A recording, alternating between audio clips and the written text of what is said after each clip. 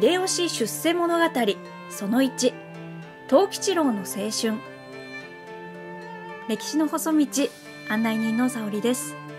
今回は秀吉出世物語その1藤吉郎の青春について紹介していきたいと思います。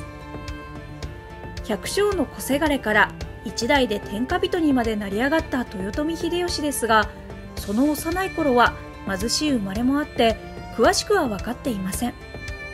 残された資料も天下人となった秀吉を持ち上げるように作られた信用性がいまいちのものが多いのです。その中からなるべく信頼できるものを拾ってみました。小作能八右衛門の子として生まれる。藤吉郎は天文6年1537年2月6日。尾張の国愛知郡中村の小作能八右衛門中夫婦の間に2番目の子として生まれます。上には後に三好義房に嫁ぐ姉友がいました。幼名を日吉丸として知られていますがこれは母中が日輪が体内に入る夢を見て解任したとする後付けの話によるもので本当はどう呼ばれていたのかは分かりません。文中では便宜上藤吉郎と呼んでおきます。この八右衛門ですが木下の姓を持っていた説もあるのです。しかし姓を名乗れる農民は豪農名手クラスに限られておりそもそも木下の姓は藤吉郎が尾根と夫婦になった後で名乗り始めたものです。やはりここは名字も持てない水飲白将八右衛門のせがれでしょう。天文12年1543年に八右衛門が亡くなり母中は織田信秀の同房衆であった筑阿弥と再婚しますが藤吉郎と反りが合いません。そこで天文13年藤吉郎8歳の頃光明寺という寺に入れられてしまいました。小さい頃から端っこく知恵も回ったので仏道修行に励めば独り立ちできるのではとの親心でしたが藤吉郎の興味は世俗の方向へばかり向いていました。どうにもこの小僧仏に仕えて一生遅れそうにもないのでやがて寺を追い出されてしまいます。落ち着き先を求めて初めての武家奉公。実家へ返された藤吉郎は商い奉公に出されたり鍛冶屋の徒弟になったりしますがどこも長続きしません。やがて天文20年1551年の春藤吉郎15歳の時に八右衛門が残した永楽船一貫門を懐にして故郷中村を旅立ちます。清洲城下で一貫門の金で木綿針を買いそれを売りながら東海道を下っていきました。当時街道一の弓取りと言われた今川義元に仕えたいと思ったようです。物語ですとこの旅の途中で八須賀五六と出会うのですが実際に2人が出会ったのはもっと後のことです。浜松城下までやってきた藤吉郎は松下貨幣幸綱という男に出会い誘われるままに仕えることになります。貨幣は浜松城主伊能貫達の頼子で遠江の国津事情を預かっていました。どうも藤吉郎は本当に猿に似ていたようで貨幣はその顔を主人の貫達の子供たちに見せて喜ばせようと藤吉郎を浜松城へ連れて行きます。子供たちがふざけて栗を投げ与えると藤吉郎は猿のように口で皮を剥いて食べてみせ喜ばせました。こういった自分を低くしても愛嬌のある人の気持ちをそらさない振る舞いができるのですね。根っからの武家育ちだとこうはいかないでしょう。勾配に妬まれ居場所をなくしふるさとへ戻る。貨幣の屋敷でも草履取りから始めた藤吉郎は主人の覚えもよく次第に引き立てられ蔵の番を申し付けられます。するとどこからか犬を一匹拾ってきて四六時中一人と一匹で蔵を守りました。おかげでそれまで蔵から時々物がなくなっていたのがピタリと収まります。命ぜられたことをするだけではなく何かを自分で工夫してプラスする。この辺りが上の者の心をつかみます。信用を得た藤吉郎は今度は貨幣の身の回りの世話役に抜擢されました。例のように主人の気持ちを汲んでまめに使えます。しかし他国の新参者が主人の気に入りになるのを快く思わない者がいました。購買に妬まれ何かといじめられる藤吉郎を気の毒に思った貨幣は永楽船30関門を与えて故郷に返します。藤吉郎が松下屋敷で奉公していたのは天文20年1551年から同23年までの足掛け4年でしたが15歳から18歳までの少年から青年になる多感な時期を過ごしました。初めての本格的な武家奉公でもありここで今まで知らなかった世間の仕組みや常識を学んだのでしょう。この経験が後々大いに役立ちました。わずかな期間の奉公ではありましたが藤吉郎は生涯恩に感じていたようで静ヶ岳合戦後丹波河内伊勢の内で2 0石を松下貨幣に与えます。小田原攻めの後には遠江久野城1万6000石の大名に取り立てています。秀吉いいとこありますね。生涯の主人信長に出会う。中村へ戻った藤吉郎は幼なじみの一和歌を訪ねます。一和歌は織田信長に小物頭として仕えておりそのつてで藤吉郎も小物として信長に仕えることが叶えました。天文23年。1554年のことで信長21歳藤吉郎18歳ようやく生涯の主人に出会いました。信長と秀吉ってほとんど年齢差がないのですね。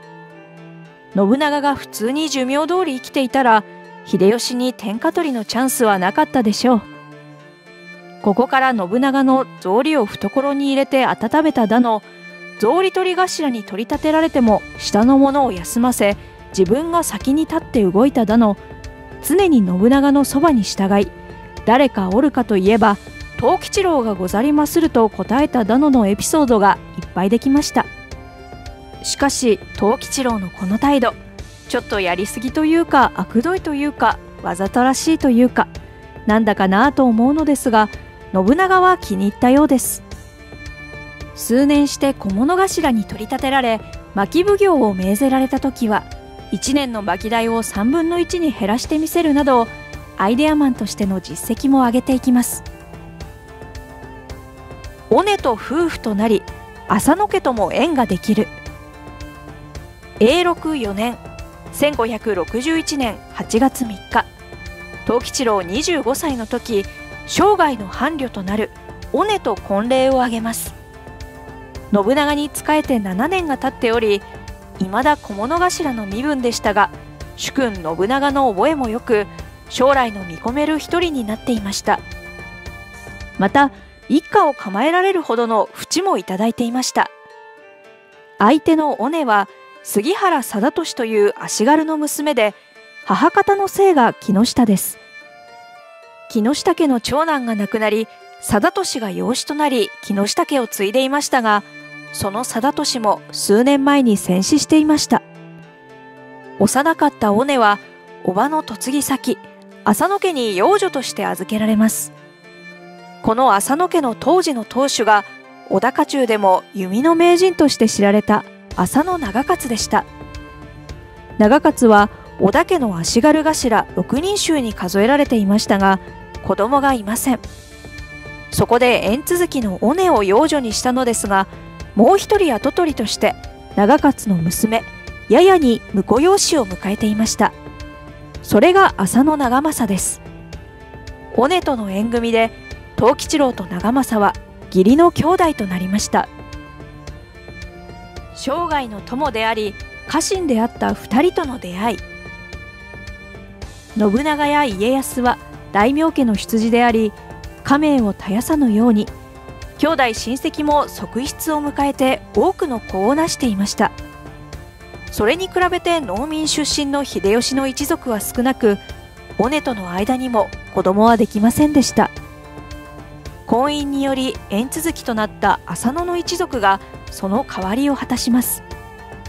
長政は初めは信長の直臣でしたが途中から信長の命令により秀吉の与力となり秀吉の一族衆として使い始めました。藤吉郎はもう一人の重要な人物とこの頃親しくなっています。犬千代こと後の前田利家です。利家は天文20年1551年頃から信長に小姓として使い始めますが藤吉郎尾根夫婦の新居の隣に住んでいたので親しく交わるようになりました。利家は信長の後継者争いで柴田勝家と秀吉が争った静ヶ岳合戦では勝家の与力であったことから最初は柴田軍に陣従します。しかし積極的に戦おうとはせず合戦途中で戦場放棄。これが決定打となり柴田軍は敗北します。その後は豊臣政権の重鎮として生涯秀吉を支え続けました。順調に出世する藤吉郎。結婚し落ち着きも得た藤吉郎。その後も足軽足軽組頭足軽大将と順調に出世を続けたようですがこの間の確かな記録は分かっていません。しかし使い始めてから10年足らずで何の家柄も後ろ盾もなかった若者が足軽大将として一軍を率いるまでになりました。実力主義の信長であったからこそでしょうが短期で苛烈な信長によく気の回る藤吉郎がうまく合わせたのでしょう。そして2人とも実利を重く見る合理的な考えの持ち主でした。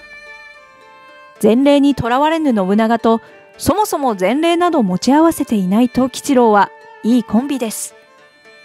藤吉郎が信長配下の武将として本格的に活躍を始めるのは信長の美の攻略に合わせてです。永禄3年1560年5月19日桶狭間で今川義元を討ち取りいよいよ動き出す信長。永禄4年以降毎年美濃へ兵を進めますが思わしい戦果は上がりません。稲葉山城が堅城であったのと東美濃の書城が連携して信長軍を防いだからです。そこで信長はまず書城の連携を崩そうとし調略を仕掛けますがここで藤吉郎が活躍します。藤吉郎の出世物語は始まったばかりです。逆算。百姓のせがれにしてはやけに生年月日が詳しく分かっているなと思われるかもしれませんが実はこれ逆算しているのです。秀吉が天正11年1583年参議十四家に任官した時自分の年齢は47歳であると想像しています。そこから逆算して天文6年の生まれとなったのですがこれ自己申告ですからね。正確なところは本人にも分かっていなかったのでしょう。最後まで動画をご覧いただきありがとうございます。今回の歴史の細道はいかがでしたでしょうか？これからもワクワクするような歴史の動画をお伝えできればと思っておりますもしよかったらチャンネル登録お願いしますねこちらの松尾芭蕉のボタンを押していただければ登録画面に飛びますのでどうぞよろしくお願いいたします。また、よろしければこちらの動画もご覧いただければと思います。